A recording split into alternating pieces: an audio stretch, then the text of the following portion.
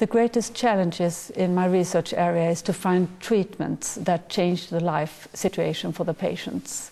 Uh, the ultimate goal would, uh, of course, be to find a treatment, uh, um, a disease modifying treatment. But uh, since these patients are old and multiple pathological processes are involved, I don't think uh, one treatment will be the whole solution. I think uh, we need to uh, find multiple um, treatment approaches, and uh, uh, I think that is the great challenge. I think breakthrough is um, too big a word for the clinical researcher. Uh, but a very good result was uh, uh, when we a few years ago did a placebo-controlled study of um, memantine in Lewy body dementias. and I did that study together with a Norwegian and a British researcher. Uh, and we did it ourselves without the pharmaceutical company uh, involved, which was a very big challenge.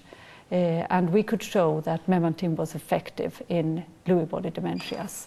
Uh, and that made it possible for these patients to get another uh, optional uh, treatment. Uh, my short-term goals is to um, tutor my eight uh, ongoing PhD students toward their dissertations. and they research very different areas, such as brainstem audiometry, uh, prognostic factors, prevalence of uh, DLB in nursing homes, uh, and even art and the experience of, of art in dementia.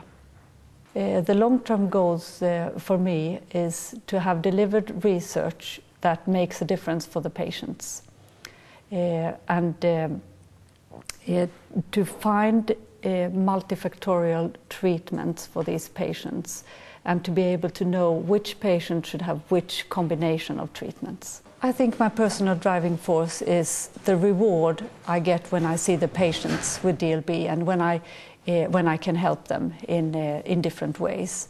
Uh, and um, since all my research questions arise in, within the meeting with the patients, I, I, want to be able to give back to the patients what we found when we have researched the problem. And I think we, we can do that uh, very often. Uh, and that is what, uh, what gives me energy.